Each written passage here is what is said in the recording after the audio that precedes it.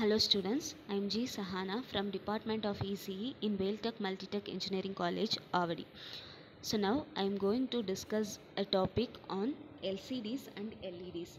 Since LCDs and LEDs plays a major role in our day-to-day life. So in our LCDs and LEDs, so some basic construction and working we will see now okay? So first of all let us see about lcds lcds is nothing but liquid crystal display. This liquid crystals display is first invented by george h. Heilmeier and later on improvements were done by james fergason.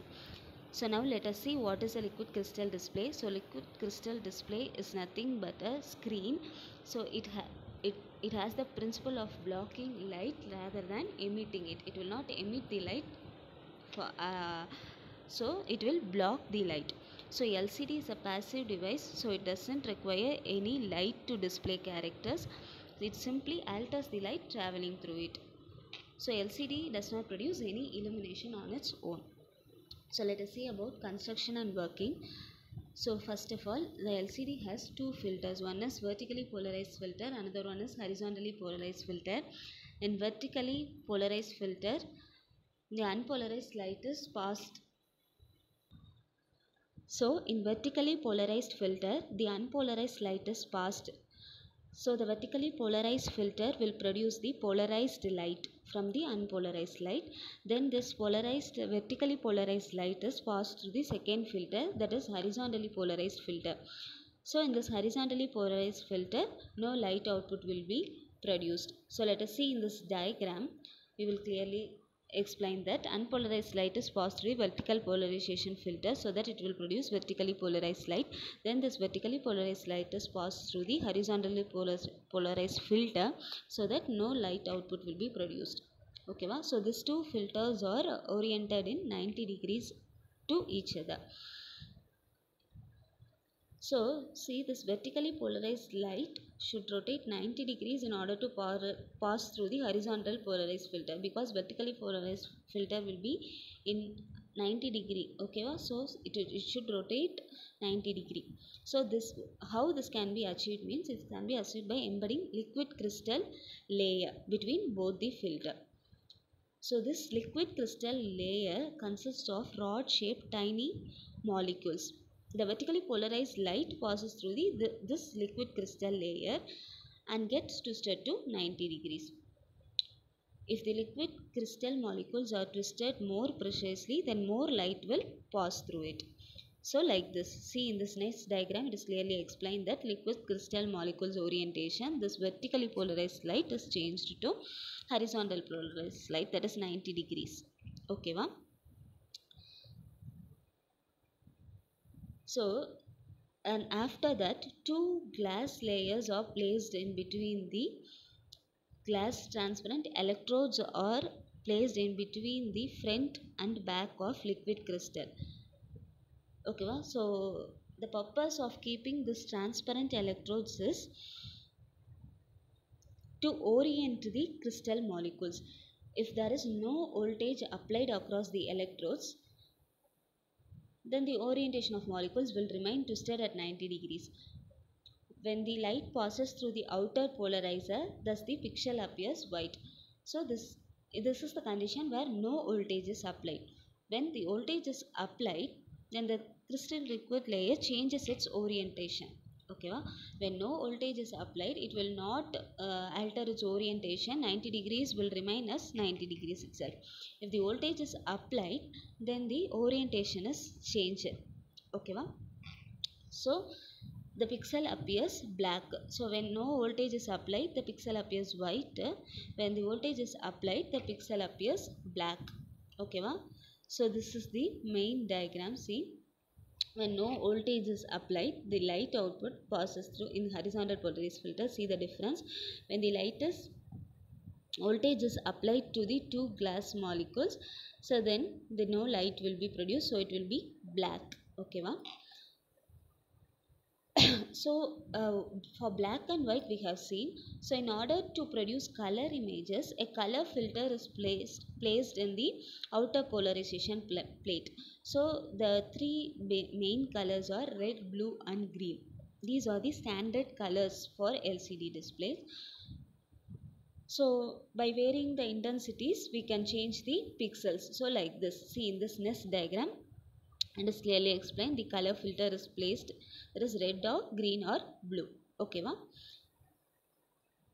so in this way the black and white characters or images the color images are produced.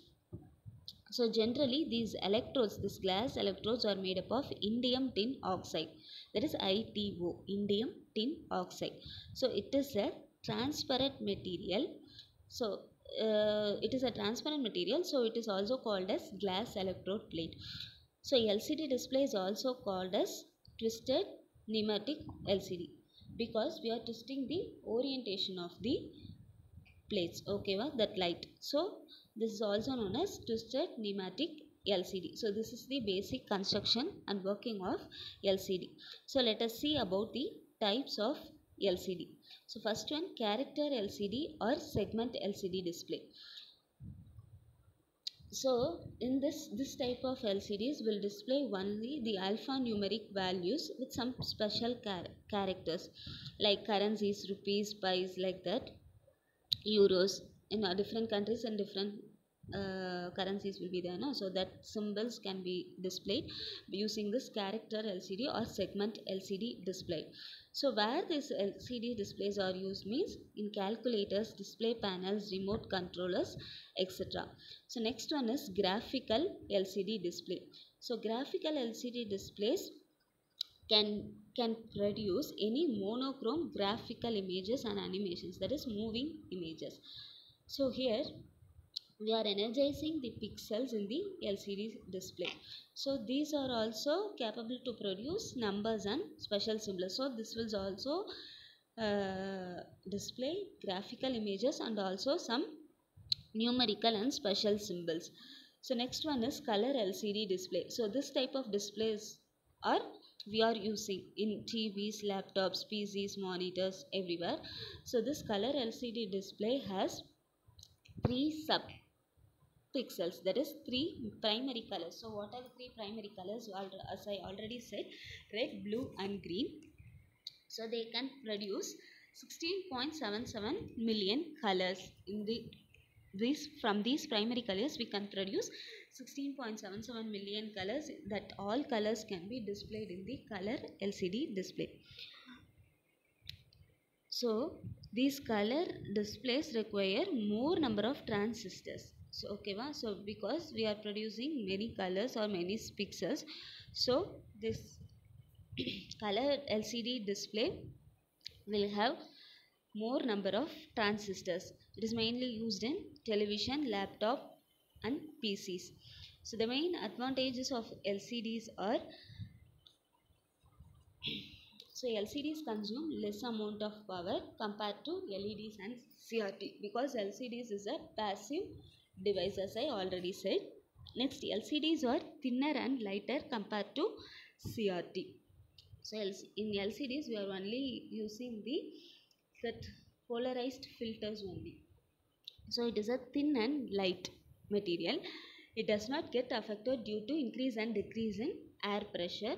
It includes millions of colors. So these are the main advantages of LCDs.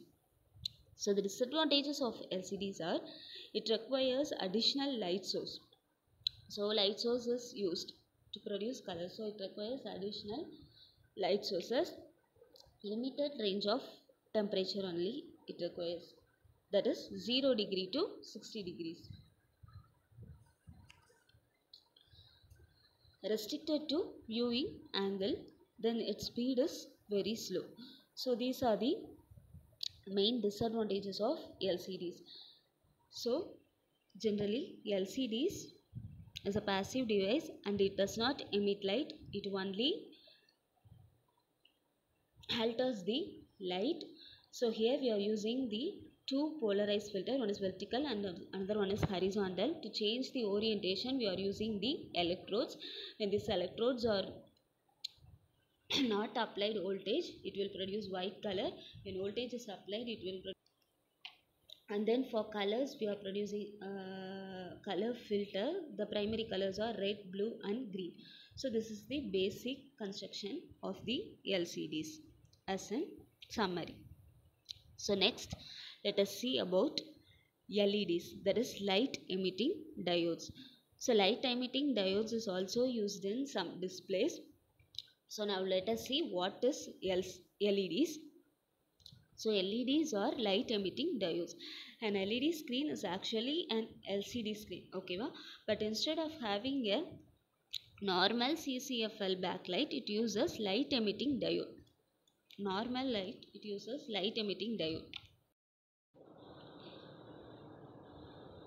So in leds instead of having a normal backlight it uses light emitting diode as a source of light behind the screen. So this LC led is more efficient than lcd so it has three main configurations for television screens like full array edge light or direct light. So these are the main configurations. So the first one is full array. So this is considered as the best method for leds so leds are distributed evenly behind the entire screen so this produces a more uniform black light and produces more effective use of local dimming so this is the bestest method among these three configurations. So next one is edge light. So this is the most commonly used lcds and it is mainly used in televisions. So with this edge light led screen the leds are placed at the peripheral of the screen so depending on the television it can be all around the screen or only on the sides or the bottom. This allows the screen to be very thin flash lighting or cloudy. So next configuration is direct light. So this is how the lower end led tvs are constructed. Similarly to the full array method the leds are directly behind the screen. These tvs are not very thin because of the space required behind the screen and to diffuse the light over a big area. So the main advantages of these LEDs are very long life, low maintenance, high efficiency and it does not produce heat. So the main uh, nowadays they are using only LEDs for television. So next the main disadvantages are LEDs are more expensive and it is limited range of temperature that is 0 to 60 degrees. It is restricted viewing angle then the speed is very low. So these are the some basic construction and working of leds and lcds so we are using as a television screen or monitor or pcs okay. With this we complete this lecture. Thank you